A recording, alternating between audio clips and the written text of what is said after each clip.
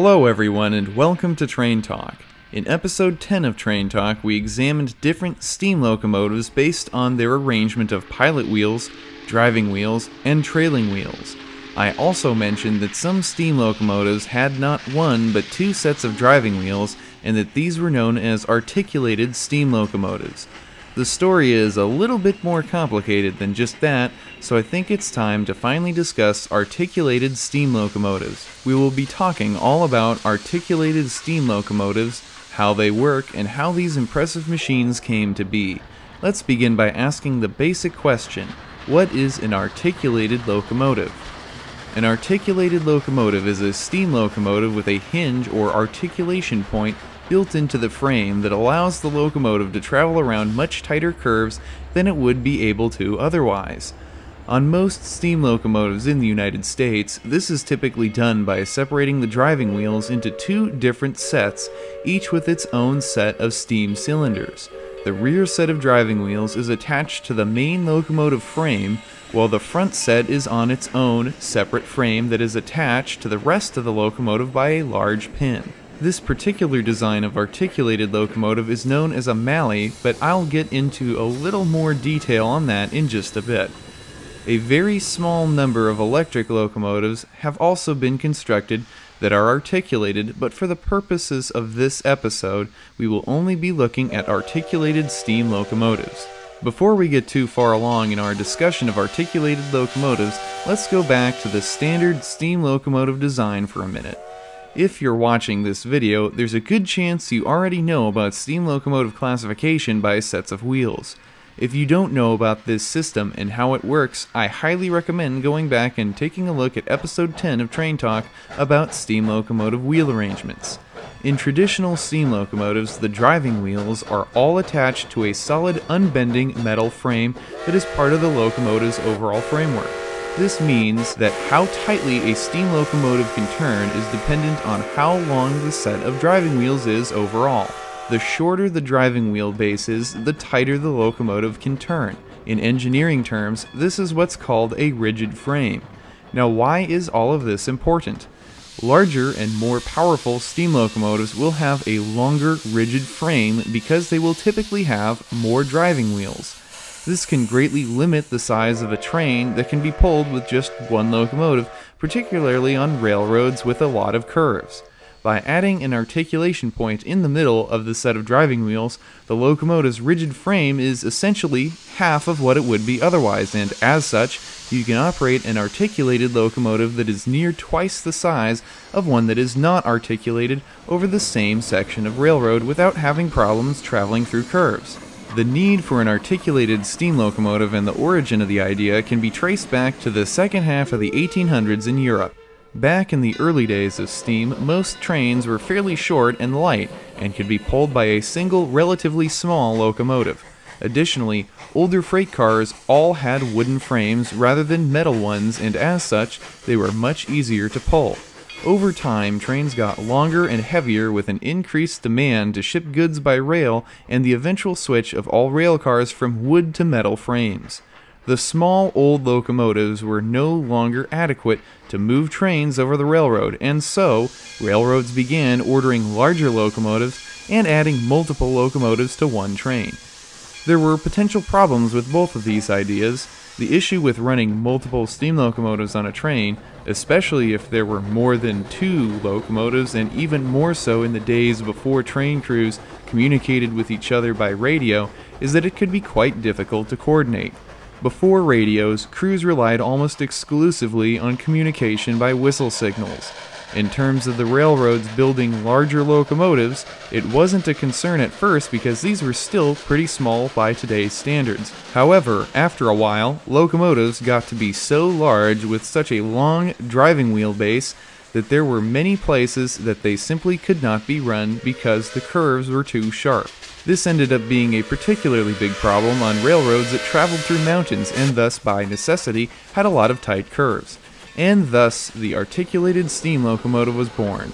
Several early designs were used in various locations in Europe through the rest of the 1800s and into the next century.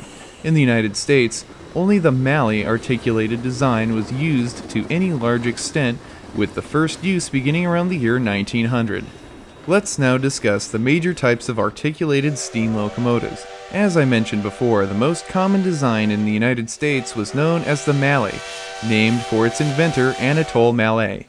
We will spend a little more time focusing on this one because it was the only articulated design to see any large-scale use in the US.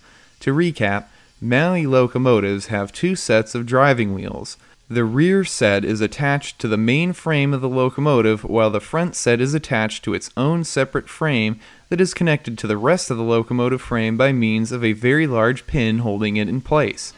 Weight from the front section of the locomotive rests on a sliding bearing built into the front set of driving wheels. Of the main different designs of articulated locomotives, this one was ideal for building a larger, more powerful locomotive that could traverse the same stretch of track traveling through curves with ease. Anatole Mallet's design was popular on some railroads in Europe, but it saw arguably the most use in the United States during the first half of the 1900s. The Mallet was also one of the first uses of compound steam locomotive technology. What is a compound locomotive? A compound locomotive reuses steam after it has cycled through a set of cylinders. So how does this work? In a traditional steam locomotive, water is heated in the boiler to make steam, and the steam, under high pressure, is then piped into the cylinders on each side of the engine to push a piston and make the driving wheels turn. After steam is used in the cylinders, it leaves the locomotive through the smokestack or chimney.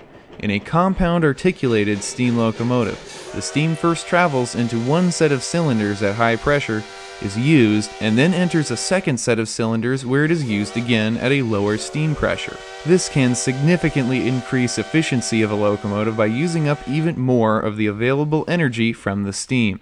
Simple articulated locomotives, on the other hand, use steam only once in each cylinder, just like a traditional steam locomotive. Steam from the boiler is piped to the front and rear cylinders at the same time and at the same high pressure. Once it is used, it is expelled from the locomotive. In compound articulated Mallet locomotives, the steam is first used in the second set of cylinders on the rear driving wheels and then in the first set on the front drivers. The front cylinders on a compound articulated locomotive are larger than the second set, so if you see an articulated steam engine and you aren't sure if it is a simple articulated or a compound articulated, this is one easy way to tell.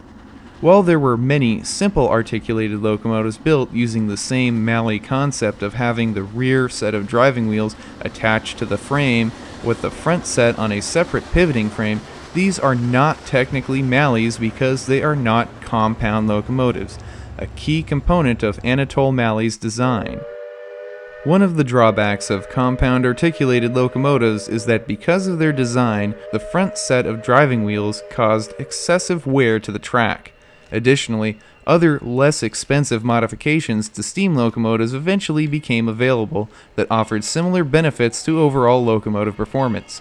Because of this, many railroads later reverted back to the simple articulated design for newer locomotives. As a result, most of the biggest and best known articulated locomotives, including the Big Boys, Alleghenies, and the later Southern Pacific cab forward locomotives, were built as simple articulateds. While the Mallet was the most popular design of articulated locomotive in the United States, a few other designs were used in other parts of the world as well. The Garratt was a popular design particularly in South Africa and Australia, and it had two points of articulation with three separate rigid frames. The boiler and locomotive cab were mounted to the main frame, which had no wheels directly attached to it.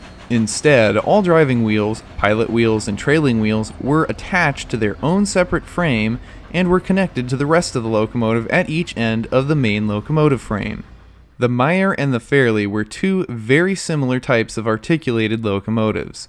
They both had driving wheels that were mounted on a separate swiveling frame attached to the main locomotive frame in the center of each driving wheel set.